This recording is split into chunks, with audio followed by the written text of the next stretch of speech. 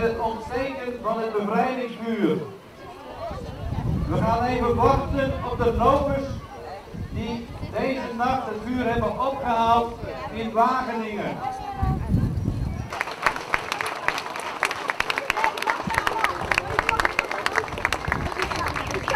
Het vuur zal nu ontstoken worden door de groep.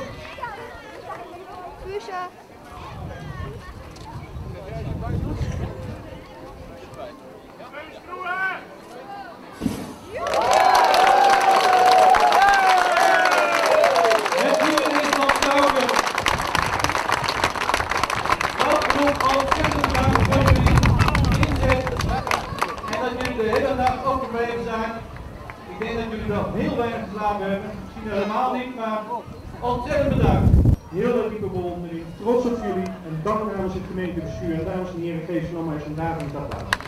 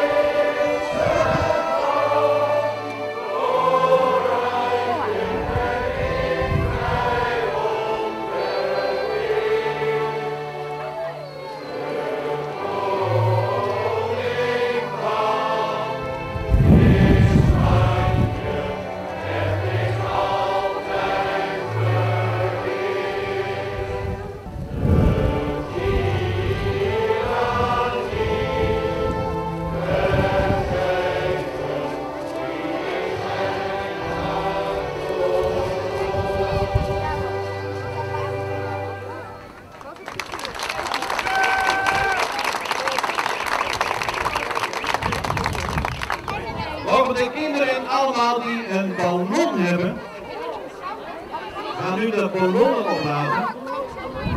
Twee, één, start!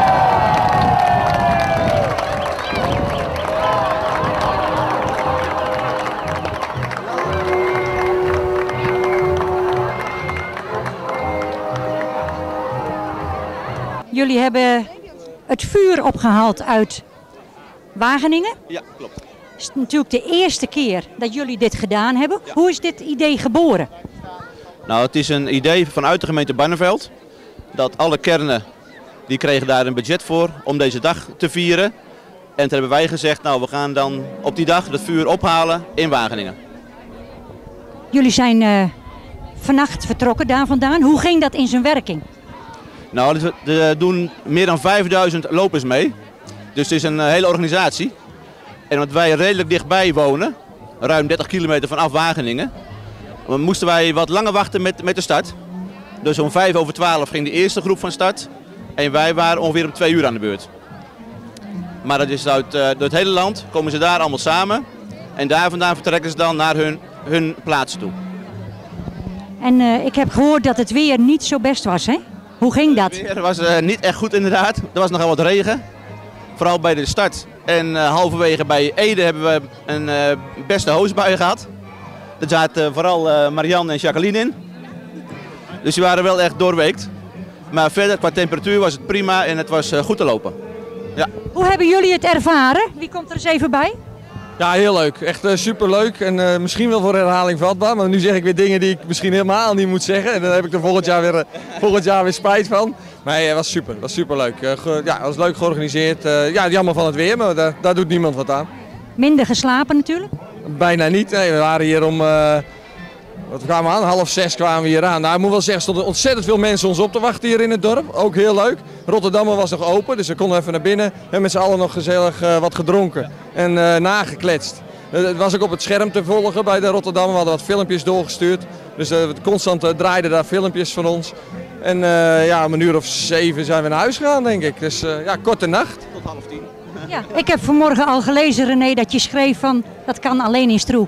Ja, ja, dat idee had ik wel. Toen, ik voor, toen we hier binnenkwamen rijden, of eh, rijden, lopen, dan is het best, even een, eh, ja, voor best wel even een momentje. Omdat er zoveel mensen, je verwacht het niet. En er staan er gewoon, nou ik denk dat er een man of veertig stonden buiten te wachten. En die hadden een uh, erehaag gemaakt met z'n allen waar wij dan onderdoor gingen. Nou, het was super geregeld. Vuurwerk erbij, echt super. Maar jullie hadden eh, eigenlijk het geluk, je was al voor proefrondje Stroe eigenlijk al eh, heel veel aan het oefenen. Hè? Dat is vorig jaar geweest. Ja.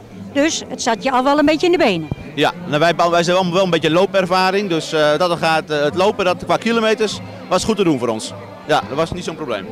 En waren er nu veel om eh, hier bij aan te sluiten? Of zeg je van het is maar een klein groepje, jammer. Nou, nee, de opzet was, wij als bestuur van proefrondje Stroe gaan lopen. En daarnaast hebben we dan wat kennisvrouw, eh, zoon meegelopen om het achttal compleet te maken. Maar de basis was het bestuur van het proefrondje Stroe. We zijn heel trots op jullie. Dankjewel. Graag gedaan. Misschien tot volgend jaar.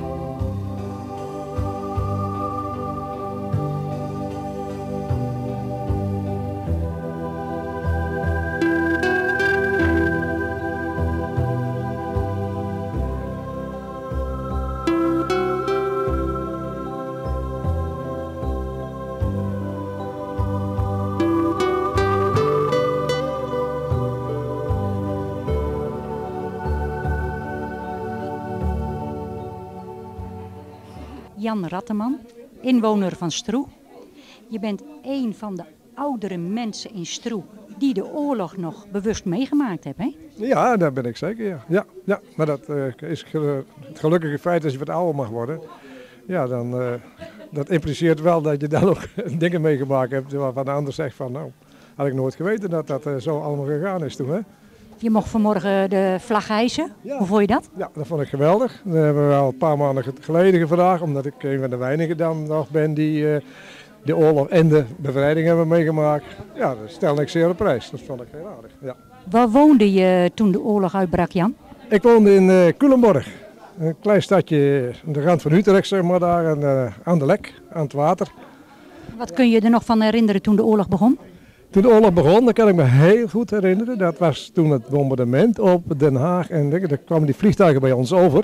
Ja, dat was ongezien. Dat waren van die grote stuka's. Nou, de Duitse vliegtuigen die, die vlogen misschien 200, 300 meter hoog. Maar je kon ze bijna pakken. Dat was toen al heel wat. En later heb ik me ja, dan een beetje gerealiseerd dat dat het begin van de oorlog eigenlijk was. Dat, toen werd het gevaarlijk, zeker voor de mensen in de grote steden. Wij maakten er niet, dat moment niet verder mee. We zagen die dingen. Ja, en dan, ja, dat, als kind, ja, ik moet eerlijk zijn, dan, dan groei je in de situatie. Je, Want hoe hebben jullie die jaren meegemaakt in die oorlog ja. met de kinderen? Ja. ja, met de kinderen. Als kind groei je in die situatie. Je ouders die worden voor, ja, die moeten voor de kinderen blijven zorgen. En ik moet wel zeggen dat, nou ja, de eerste toch twee, drie jaar nog. Toen liepen de Duitsers op straat, hè, die, die deden niks als uh, sigaar tegen elkaar roepen en zo. De burgemeester ging weg en daar werd de artscommandant neergezet en die was de baas van de stad. Maar later werden dus, uh, ja, nou, later, de jaren verstreken meer dan zo'n 43. Ja dan, ja, dan krijg je wel een hoop dingen die alles gedistribueerd is. En ja, de voedselvoorziening die wordt dan echt minder. En later dan beginnen de scholen, die hebben geen verwarming meer. Dan gaat de school en dan ga je als kind zijn er natuurlijk een hele aparte tijd in. ja, dat Wat is je als kind het meeste bijgebleven? Dat je zegt van dat vond ik zo erg. Nou, ik vond het erg. Ja, wat ik wat het meest erge vond ik dan, dat was een beetje, een, uh, ik denk de eind 44. Toen was bij ons ook echt pijp leeg en de, en, en de, en de broodrommel en alles. En Die, toen zei mijn vader van, eh hij had een bed naar beneden gezet. Ik had een zusje dan. We sliepen met z'n vier in één bed. En die zei zo, zo, ja. Nou ja, als er dan er toch een bol moet vallen, dan ben we alle vier maar weg. Weet je wel, zoiets. Ja. Dat, dat kan ik me nog een beetje wel herinneren. En dat is nu 70 jaar geleden en het staat nog op je netvlies gebrand. Er zijn een boel dingen die, eh, die vergeet je ook niet. Hè. Als je eraan denkt, dan weet je wel hoe het exact verlopen is. Ja. Ik, vind ja. ik moet eerlijk zeggen, het is voor ouders een verschrikkelijke tijd geweest, maar ik heb ook heel veel schrik gehad in de oorlog. Het is niet, en na die oorlog gingen die, die, die moffen die gingen meteen weg. En die gooiden alles van eraf. Alle, alle, alle, wat, er wapens was, weg. Hè. En die raten wij op. Hè. En er zat een handige eh, ruilhandel tussen de jeugd. Van, eh, heb jij nog gasmaskers? Jawel, ik heb nog een gasmasker. Oh, krijg van mij een dolk. Ja, ik heb alleen nog eh, een gasmasker eh heb je nog wat anders dan? Hè? Ja, een munitie, hè. Grote kogels meenemen. Eigenlijk heel gevaarlijk geweest, hè? Ja, dat was ook wel gevaarlijk een beetje, ja. Ja, we hadden er licht, lichtspoormunitie bij. Die, die zat er om de vijf kogels in zo'n band. Zat er eentje, een lichtkogel, die halen we eruit. Dan maken we die punt open en een vuurtje erbij. En dan krijg je een prachtig groot vuur. ja. Maar Jan, ik vind het mooi dat jij dat nog na kunt vertellen. Ja, ik vind het En, zelf eh, ook. Ja, het is, hartst- het, het is zeg nogmaals, het is een, eh, je moet het beeld een beetje aan twee kanten zien. Het was schitterend afgelopen was. Maar ja, je zal er meer zijn, als, die mensen, als er mensen zijn die het horen, die zeggen, ja, dat heb toch wel leuk. was ook wel weer leuk. Bij al die jongens en meiden, je hoefde niet naar school, jongen, niks als rottigheid uit te halen. We gingen appels plukken bij boeren en dan gingen we naar de bakkerij en dan gingen we moest tien appels meenemen, weet je wel. En dan kreeg je er vijf terug of zo. En die, de rest vraten ze zelf op te Maar dan kreeg je een mooi appelbol. En dat zo zwaar is dan ook bij die Duitsers. Ja, ja. Jan, ik wil je hartelijk bedanken voor dit leuke gesprek.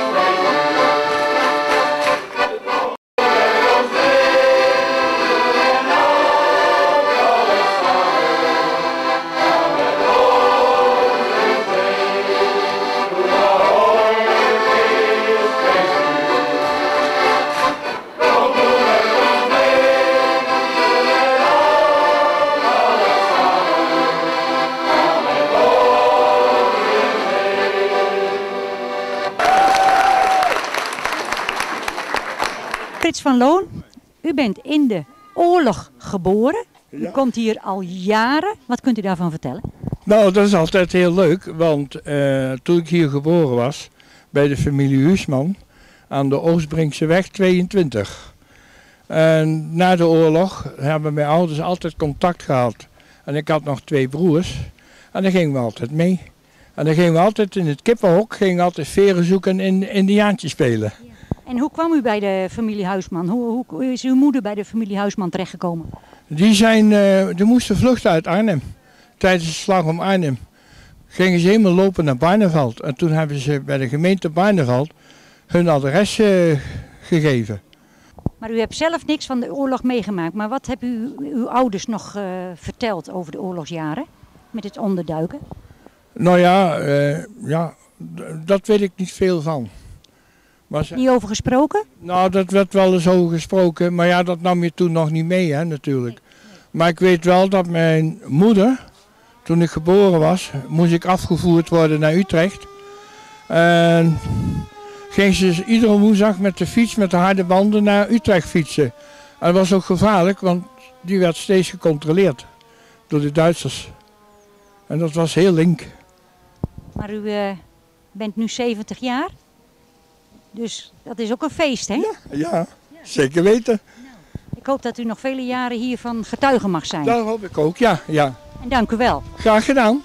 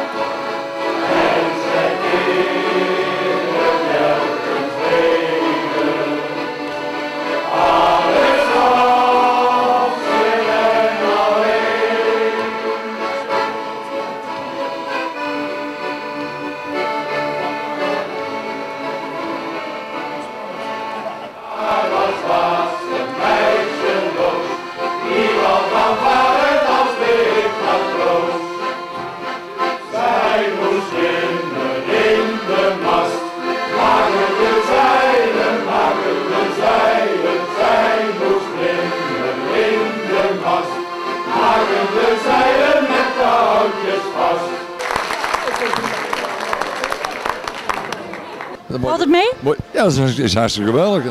Ik vind het mooi dan bij je supporter, hè. Dat, dat doe je toch voor, nee. Goeie zaak, hè? Wat, ja, we doen het hartstikke geweldig. Het valt me 100% mee wat ze nog kunnen.